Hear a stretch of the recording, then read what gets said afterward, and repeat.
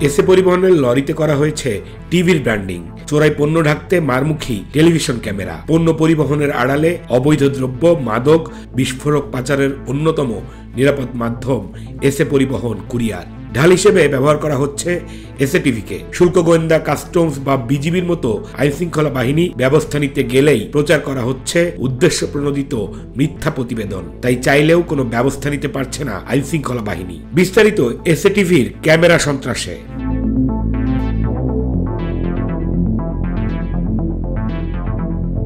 চট্টগ্রাম, কুমিল্লা সহ সারা দেশে এসে পরিবহনের কাভার্ড ভ্যানগুলোতে অবৈধ চোরাই পণ্য পরিবহন একটি স্বাভাবিক ঘটনা হয়ে দাঁড়িয়েছে। বিভিন্ন সময় চোরাই পণ্যের সাথে ইয়াবা, মাদক, অস্ত্র ধরা পড়ছে। ধরা পড়া এসব পণ্যের অনেক সময় কোনো পরিবহন রিসিপ্ট পাওয়া যায় না। থাকে না কোনো প্রাপকের ঠিকানা মানে এসে পরিবহন নিজেরাই এই পণ্য নিয়ে আসছিল। শুল্ক গোয়েন্দা, কাস্টমস বা বিজিবির মতো আইনশৃঙ্খলা বাহিনী ব্যবস্থা নিতে গেলেই টিভি ক্যামেরার অপব্যবহার করা হচ্ছে। এসে পরিবহনের অপকর্ম ঢাকতে ব্যবহার করা হচ্ছে এসে টিভিকে। সাংবাদিকতার মূল নীতি উপেক্ষা করে এসে টিভিতে প্রচার করা হচ্ছে উদ্দেশ্যপূর্ণ মিথ্যা প্রতিবেদন। এসে পরিবহনের পণ্য ধরলে উল্টো মিথ্যা নিউজ টকশো করা হয় আইনশৃঙ্খলা বাহিনীর বিরুদ্ধে। এসে টিভি সিএনই জাহিদ নিজেই সব টকশো করেন। দুই হাজার বাইশ সালের জানুয়ারি থেকে দুই হাজার তেইশ সালের ফেব্রুয়ারি পর্যন্ত শুধুমাত্র কুমিল্লা বিজিবি দশ জব্দ করেছে ষাট লাখ পঁয়ষট্টি হাজার টাকার অবৈধ পণ্য।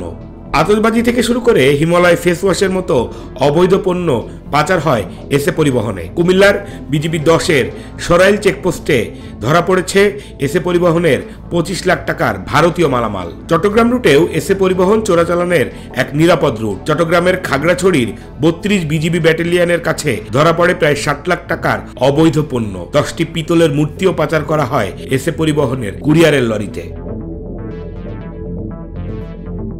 স্বর্ণ ও ইয়াবার মতো মাদক পাচারের জন্য আছে আলাদা টেকনিক গাড়ির ভিতরে এমন জায়গায় সেসব লুকিয়ে রাখা হয় যা ধরতেই পারে না আইন শৃঙ্খলা বাহিনী। এই তো শুধু একটি দুটি ঘটনা। সারা দেশের সীমান্তবর্তী জেলাগুলো থেকে কোটি কোটি টাকার অবৈধ পণ্য পাচার হয়ে আসছে এসে পরিবহনের মাধ্যমে। পুলিশ, ডিবি, র্যাব, শুল্ক গোয়েন্দাদের বিভিন্ন অভিযানে অস্ত্র, মাদক, বিস্ফোরক সহ নানা ধরনের অবৈধ পণ্য আটক হয়েছে। সে কারণেই এসে পরিবহনের কাবার্ড ভ্যানে এসে টিভির ব্র্যান্ডিং করা হয়েছে। মিডিয়ার মালিকানাধীন প্রতিষ্ঠানের গাড়ি মানে টেলিভিশনের গাড়ি। আটক করলেই মিথ্যা নিউজ সহ উপরের মহলের চাপে পড়তে হয়। এদিকে কুরিয়ারের পাশাপাশি টেলিভিশনের মালিক হওয়ার দাপটে বহু বছর ধরে কাকরাইলের এসএ পরিবহনের হেড অফিসের সামনের রাস্তাটি নিজেদের গ্যারেজ হিসেবে ব্যবহার করছে এসএ পরিবহন। চট্টগ্রাম এবং দেশের বিভিন্ন জায়গাতেও রাস্তার জায়গা দখল করে পার্কিং লট বানিয়েছে তারা। এসব দেখার যেন কেউ নেই।